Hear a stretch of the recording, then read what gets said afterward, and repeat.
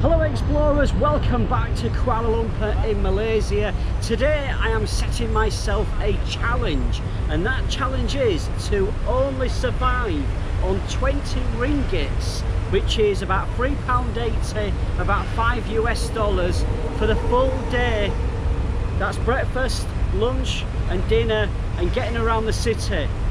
Literally 20 ringgits. Let's see if I succeed or not. Now one of the many good things about Kuala Lumpur is that there are lots of things to do for free. So this area here is the River of Life. Those of you that are local will already know this, but for the tourists visiting for the first time, definitely recommend a wander around here.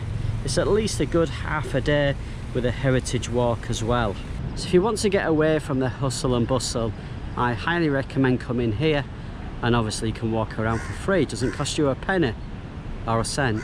So yes, I definitely recommend a walk around here. As you can see, it's fairly quiet during the week. Obviously the weekend will a little bit busier. And I think we'll head this way. You can see the KL Tower there. The weather in Kuala Lumpur can change so quickly. When I started this video, it was very overcast. But now it's getting sunny and the sun is burning those clouds. So yes, the River of Life, definitely recommend it to add it to your list of places to check out. It's really nice here. I, I love coming for a walk around here.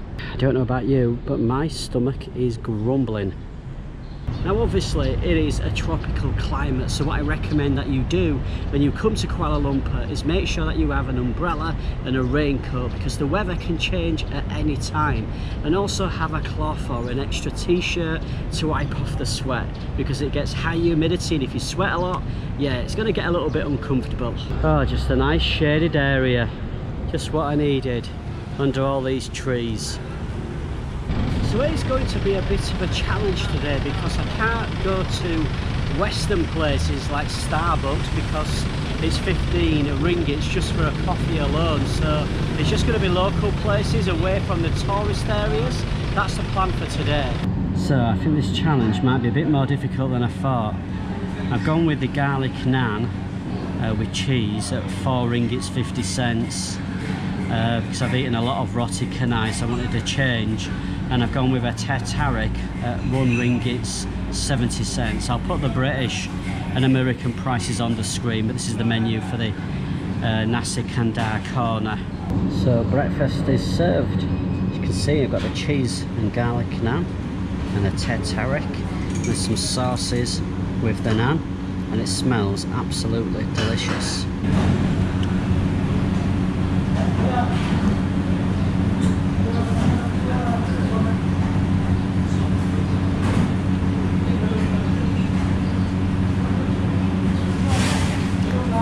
Unfortunately, we won't be going to the KL Tower today because, well, that's well out of our budget. Okay, breakfast was a little bit more expensive than I was looking to pay. It was cheap, you know, for Western standards, but for my budget and the challenge, hmm, just such an interesting place to walk around. Maybe I'll do a video just on this location alone and some of the food places. If you'd like me to do that, let me know.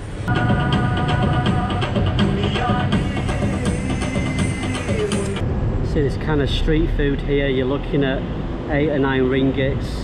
So we're in the LRT station now, I'm just going to get a ticket. So I've got my token. Like I say, it's really cheap to get around Kuala Lumpur. Normally I think the most I've paid is around three ringgits, 50 cents, something like that. Time for the train. Here it comes. Next stop, KL Sentral.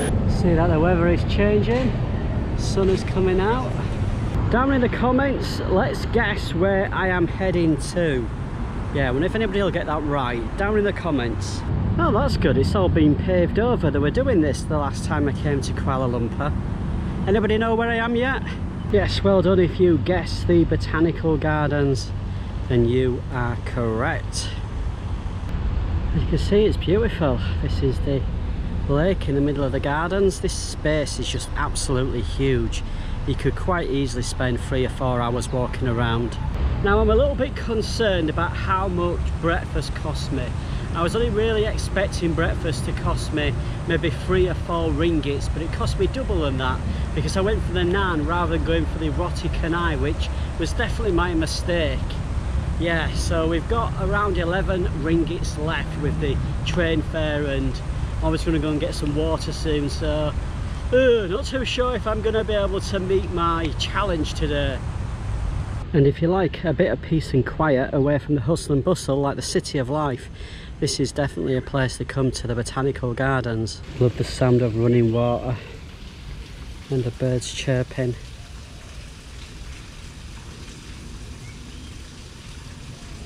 I love coming for walks like this, just so relaxing. As you can see there's just literally nobody around. All of this is free. Don't pay a penny to walk around here. And yeah, lots of these little shelters where you can get away from the sun and also if it's raining you can sit down and wait until it stops. I think it's time for a drink and a bit of a chill. Obviously my budget for today doesn't include the accommodation but the cost of living here in Kuala Lumpur is about on comparison with Eastern Europe, maybe a little bit cheaper. Really can't believe how quiet it is today. It's incredible. I feel like I've got the place to myself. So yes, just this left, 11 ringgits and a few coins. Gonna have a, another walk around for a couple of minutes and then we shall head and go and get some lunch said it before and I'll say it again I love the sound of water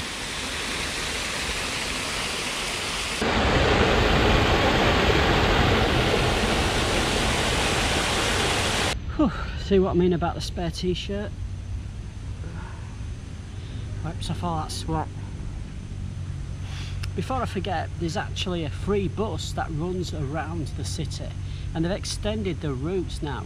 It's a pink bus. You'll see on the front saying go KL and it's literally free so if you don't want to pay for public transport you can get around so easily in Kuala Lumpur. Obviously the downside cars always come when I'm filming. And the downside is that it does take a lot longer to get around because obviously you're on the roads and there's a lot of traffic around there just like there is in all Southeast Asian cities. So as you can see there that's KL Sentral. And it's only five or ten minutes walk from there to here so it's not far at all. Man that cold breeze is just what I needed. It's hot.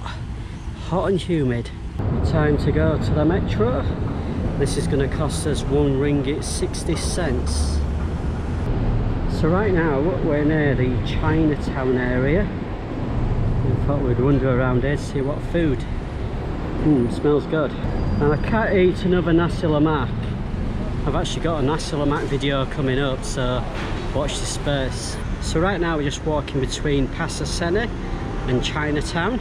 Seems to be lots of food places down here. It's uh, all air conditioned.